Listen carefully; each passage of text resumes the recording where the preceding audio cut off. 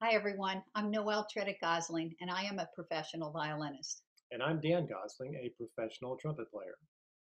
I'm on the faculty for the Music for All Summer Symposium, which was to be held at Ball State University. But since we couldn't see you last week, I was asked to put together a video, and I asked my husband to join me today. And today, our topic is going to be orchestra etiquette.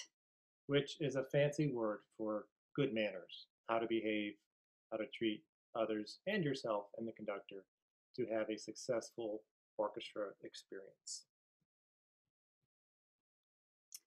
Who are we, and why should we care? Well, Well, we've been doing this for a while. Between the two of us, we have over 70 combined, combined years. of professional orchestra Yeah, experience. we're old. We're not that old. Yes, in a wide variety of settings, Yep. lots of orchestras, lots of different situations. Um, we love playing in orchestras, but it's also very special to us because that's where we first met. Yep. And that's how our relationship started. Yes. Hence the heart. Ooh, our first orchestra experience. Oh, look at those pictures. Tell me about that one, Noelle. That Yours? No, yours. Oh, God, I don't want to touch yours. Um, I was in my fourth grade orchestra. I was concertmaster that year, and that is a performance. Would you believe? Look at all that music on the floor. See, they hadn't had the benefit of Right. hearing this talk on orchestra. Very etiquette, true. right? Very true. But I all want you to notice my shoes. I loved those patent leather shoes. It's all about the shoes. It is about the shoes. I still love shoes. Yeah, well, my shoes were not patent leathers. I think those are earth shoes of the hush puppy variety, and this was probably, I think, seventh or eighth grade. Uh, we had lovely little uniforms uh, that the school provided for us, and I was so proud to play in my band and the orchestra. So we broke this down in uh, four areas of respect. We're going to first talk about respect for the conductor. hmm Always watch and no talking. pretty self-explanatory, right? If you're not watching, you don't know what's going on. If you're talking, you don't know what's going on. Watch he or she at all times because they're the ones running the rehearsal, not you. If your stand partner's talking, ignore them. When they stop, you stop. They meaning the conductor. Yeah. Meaning when they do this, you should not keep playing. You shouldn't keep playing the next part, show off. Just just simply stop. It wastes time when you keep playing. It's annoying to listen to, and it is disrespectful. It is very disrespectful. No conductor wants to hear the last little bits of their music going while they've stopped. Yeah, Well, exactly. to. Oh, here's a big one coming up. no cell No phones. cell phones.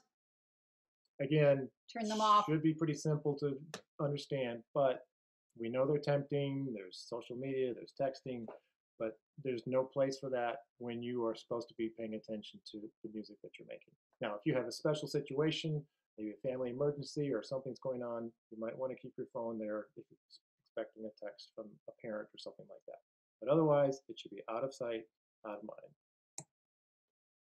Ooh, Practice outside of rehearsal and be on time. So we, always. we squeeze two here on this on this bullet point, but yes, do your practicing, your preparation outside of rehearsal. That's the time to really do your work on your music. And then when you're in the rehearsal, it's the conductor's time to put it all together. Being on time, Mm. what does that mean to you? Don't be late. It actually means being early, right? Oh, If your rehearsal starts at one o'clock, you don't show up at twelve fifty nine. right. In a professional situation, most people are usually there 15 minutes early, oftentimes a half an hour or more, ready to go, preparing themselves for the rehearsal. So if you're sliding at the last minute, it just it stresses everybody out. That's not stresses cool. you out, stresses the conductor out, your stand partner. Be on time. Be early. Respect for your colleagues. So the first one is to not block anyone's view. I think we, you know, obviously our Three Stooges friends here are Doing a lot of blocking Yes. of his view. So if somebody's behind you, turn around and say, Can you see the conductor? The person in front of you should turn around and say, Can you see the podium? And adjust your chair so that everyone can see. The entire orchestra should be doing that. Never block other others people's views. Warm up Does not, does not mean show off. So again, a warm up is just that. It's different for each instrument, but it should just be that which you need to do to get ready to play. Yeah, how many times have you come into rehearsal and you hear somebody practicing their concerto or their solo piece? Uh, it's that don't do that. It's annoying. It's disrespectful. It wastes time. Um, you often warm up with a mute. I you? do. I put a mute on so I don't bother my colleagues. So I'm very quiet. I practice my scales. I practice everything to warm up my hand. As a brass player, I can do the same thing. Yep. I can put in a cup mute in, which I often do, so I can warm up without being uh, without hurting the ears of the people around me. Respect your instrument. No respect. Oh, we respect their their instrument. instrument. Ah. Meaning, let's see you see someone's horn or fiddle lying on a chair next to you, and you, oh, I heard they got a new new instrument. I want to try that out. No, no, never touch anyone else's instrument. Period. Because what happens when you do? Uh, undoubtedly dropped or scratched. Scratched. or Something put it in. happens to it. Now, if they say to you, "Hey, would you try my instrument? I just got it. I'm really proud of it," or "It doesn't sound right. Would you check it?" Of course, you you're you're uh, free to play their instrument. But generally speaking, keep your hands off other people's things. You know how upset you get when somebody takes your cell phone away.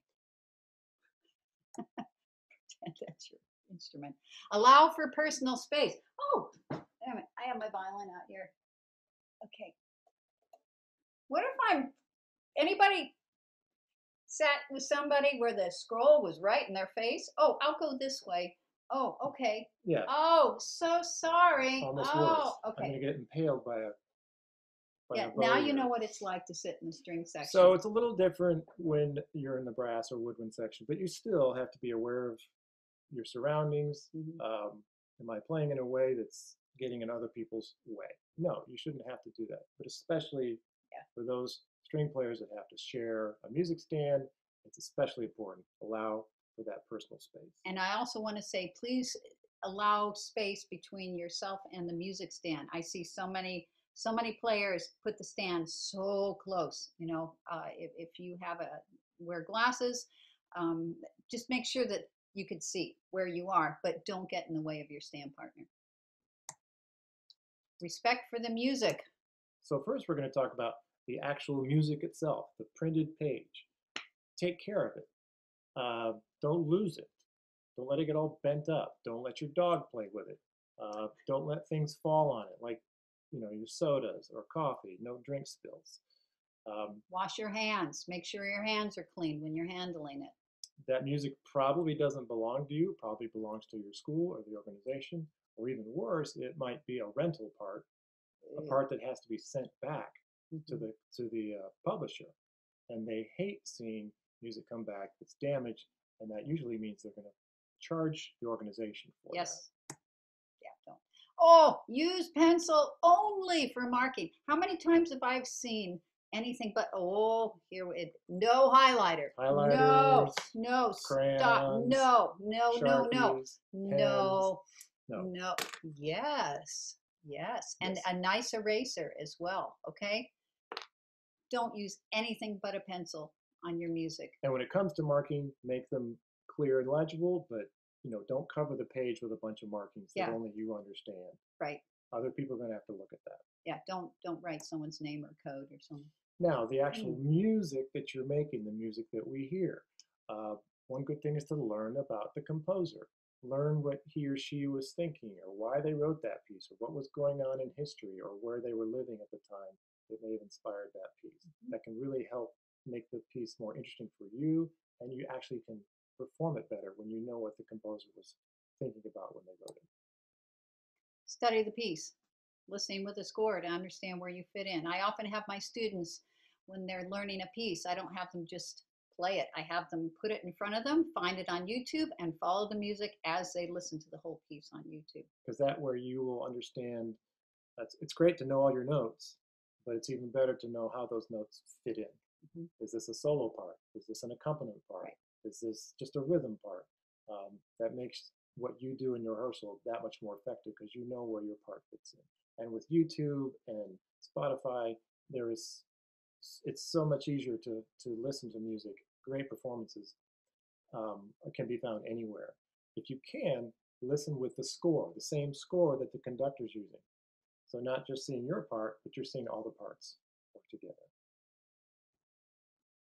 Respect for, for yourself. yourself. You, yourself. Please take care of yourself. Get adequate sleep and eat well. Please, please, please. Get your What is sleep. adequate sleep? adequate adequate sleep. I can't say the word. Easy for you to say. Adequate sleep is at least six, usually seven to eight hours every night. Yeah. We've done this presentation in, in um, a live setting with uh, young musicians, and we often ask them, How many of you got less than five hours sleep last night? And we're shocked how many hands Yeah, go up. there's a lot of them.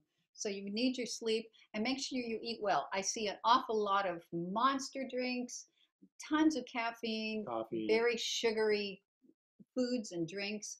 Um, eh, that doesn't fare Snacks. well with being a good player. You just take care. eh, You know, it's once in a while, it's great, but just take care of yourself. and be hydrated. Drink a lot of water. Yeah. Yeah, lots of water. Good posture equals confidence and better sound. Okay, so we're sitting up pretty straight. What if we both slouch? We both slouch, you sound like Uh, this. Oh gosh, And our attitude actually changes. we which talk a little softer. which affects the sound. I know. we feel about Yeah. things in general. Yeah, but if we sit up up straight, Ah. you can hear us. We feel, feel better. rather perky actually. Yes, so much more you'll feel better. You'll actually have a better sound. Yep. I don't care what instrument you're playing, especially if you're playing a brass or woodwind instrument. You need posture, good posture, to deliver the air properly. But you also need it as a string player. Yeah, string players. I see a lot of slouching, and the arm goes down. This goes down. Some people use their knee to kind of. I, I don't do any of that, I, and it looks bad from the audience. Look good as an Right. orchestra. As a group, if you're all sitting up, the audience will see that, and you actually sound better. Take care of your instruments. There it is. Take care of your instrument. Uh, string players, please wipe down your violin afterwards. Please, please. You don't want that rosin building up. And please loosen the hair of your bow when you put it away. Have a little cloth on top of your violin. Just keep it clean. It's important. Same goes for any instrument. Uh, playing a brass instrument, make sure that your valves are working, the slides are uh, can can move easily. Uh, woodwind players, make sure those pads and the keys are working properly. Nothing worse than a Yeah. squeak at the wrong time because you didn't Yeah. properly You'll feel better when your of your instrument instrument. looks good. Feels better. Ooh, be positive. Positive. Be positive. Be positive. That's a, that's that's two simple words, but it applies to everything. Be positive about your experience uh, when you come to rehearsal. Um, try not to bring your troubles with you. Don't be a complainer. Don't be no you know gee. Um, yes, we all have ups and downs in life, but the great thing about music is it can inspire us and make us feel better immediately, and you'll be a better musician and a better colleague if you leave your troubles outside and just be there to make the music. playing in an orchestra is fun. It really is. We love it. So make sure you take it seriously. Yeah, that's kind of a contradiction in terms, but when you think about it, anything that you really enjoy doing, you do take it seriously, whether it's a hobby Yeah. or whether it's um, making music.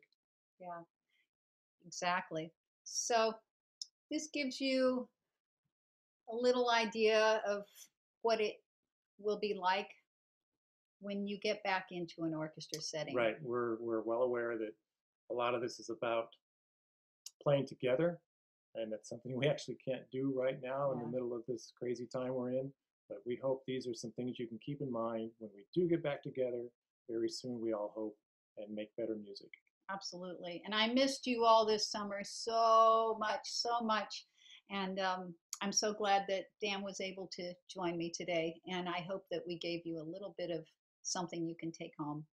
And uh, Think about in the future. absolutely. So, peace. Take care of yourselves. Thanks so much for spending time with us. Bye bye. Bye.